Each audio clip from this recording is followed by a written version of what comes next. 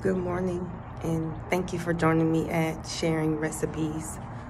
Um, it's become more than just about food and cooking, it's become just me sharing with you guys my recipes for my life. And I mean, maybe you try them and they work for you, and maybe they don't, but at least you have a, a place that you can share and um, be creative and have ideas and a place for me to have some way to reach out and touch everybody. So my um, tip for today for sharing recipes of life. During times like this, it's even more important. Hold on, I gotta take a sip of coffee. Mm. It's so good. During times like this, it's even more important to take time and remember to appreciate the positive things that God has given you in life.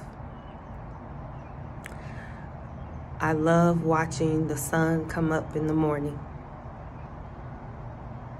That's my positive thing that I think of every day. Second, first, every morning when I open my eyes and I see my kids, I see my mom, that's a blessing for me. That's a blessing for me. I never take it for granted because uh, I'm, I'm a person that has lost people in my life and so I mean I know we all have we all have. And so it's and when that happens we know that life is short. And if you if you're a believer in God you know that he's in control and when it's time for you to go he will call you home If you survive through everything that's going on, it's because your work here isn't done.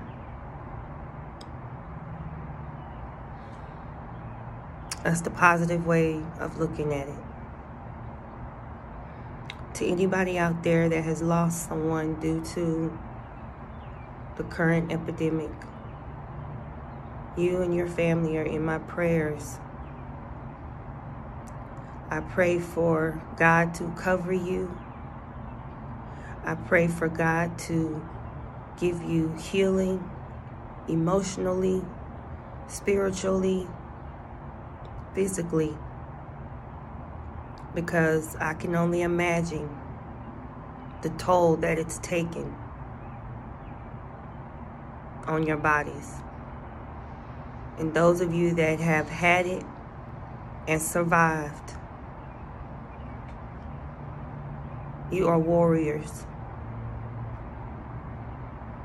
You are warriors. I look forward to finding videos out there that uh, ha have survivors and hear their stories because this this disease, this virus that's going around, it's different, y'all.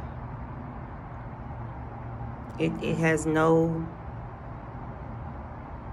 limits to who it, it, it can get to. I saw a video of a lady that was quarantined for three weeks in her home and she still got it.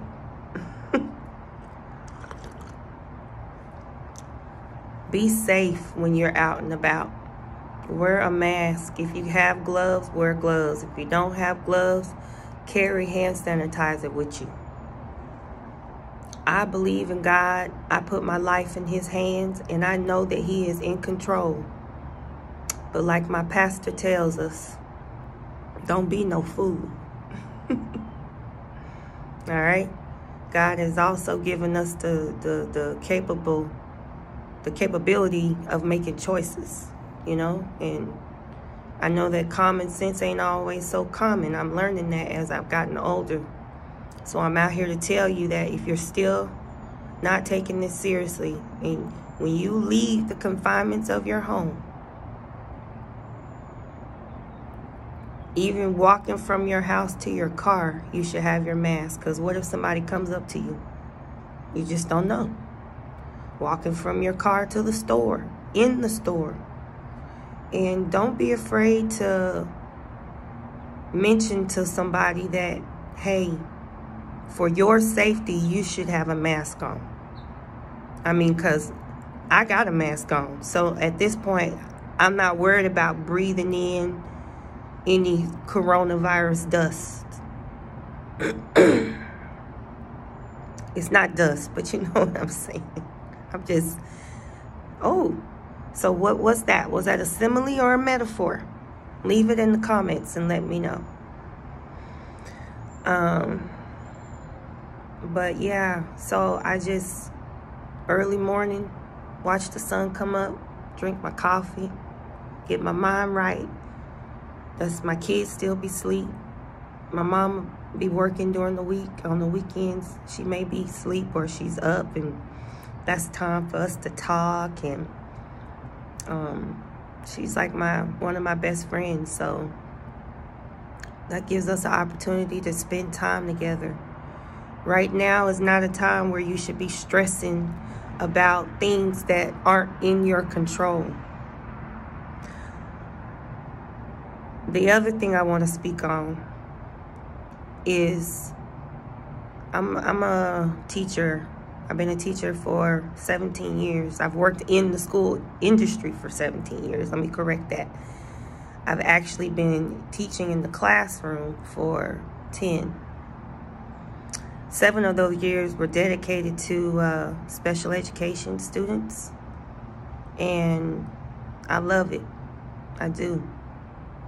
I love the interaction with the children. I love watching them grow up. I love watching them progress. I love watching them succeed.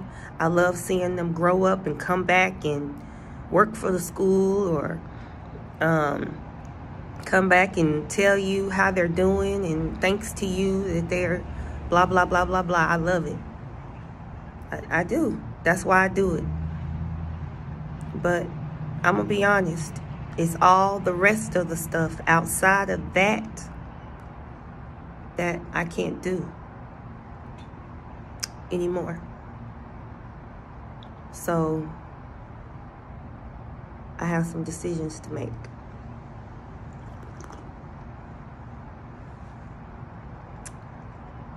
But um, yeah, that's why I'm a big advocate for homeschool.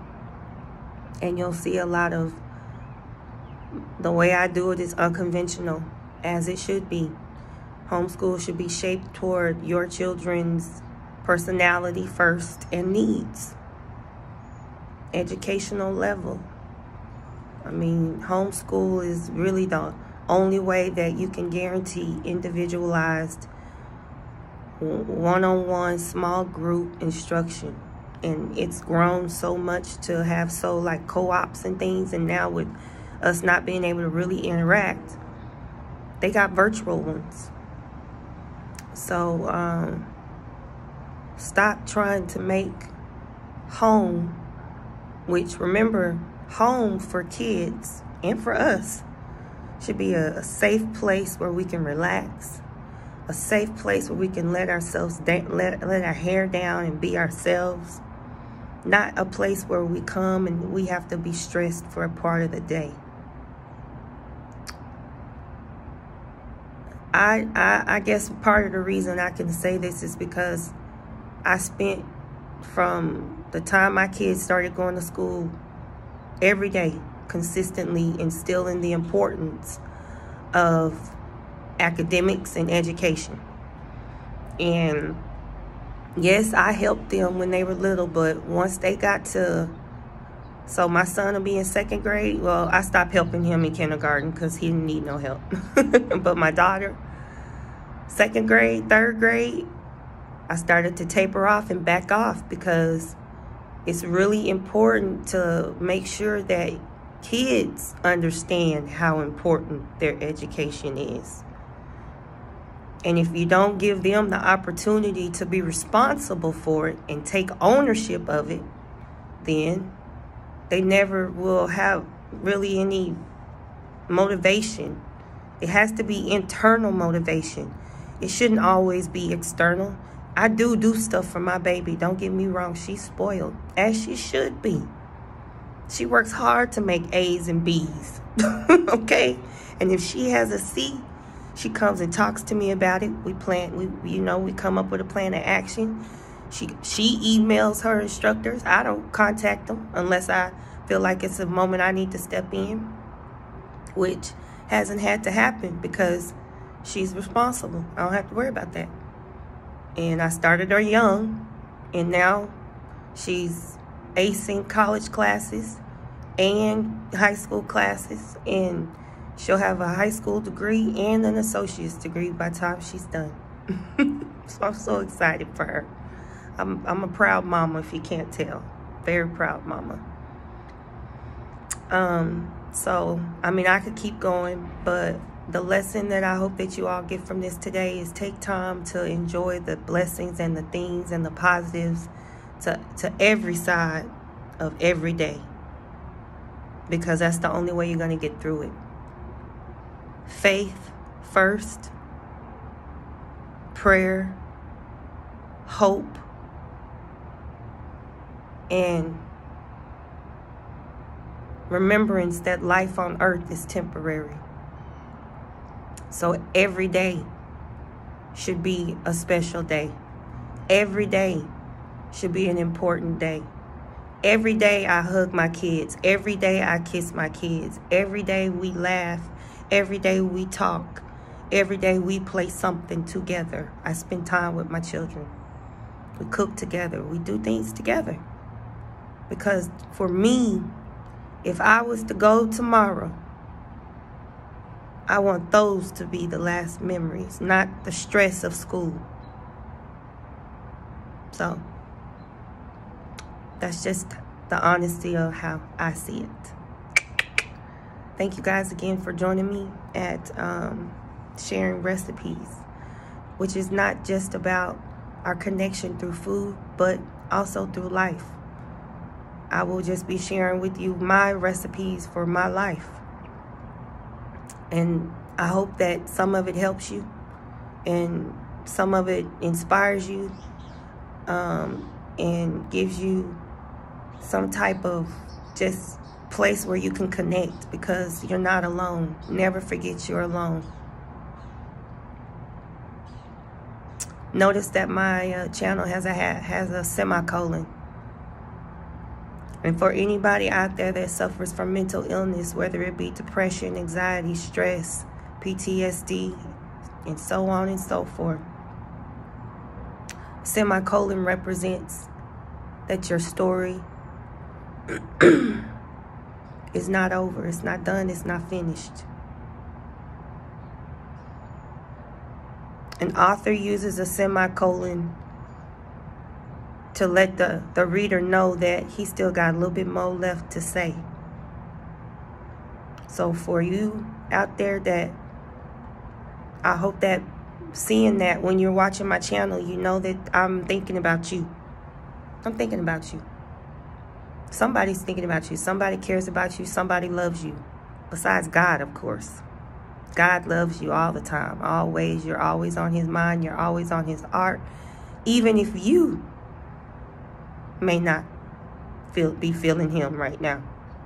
He's always feeling you. And so am I. So thank you for joining me today at Sharing Recipes, which is just not about food, but it's sharing recipes of life. And I hope that uh, we can all connect. Thank you for joining me. Don't forget to hit subscribe.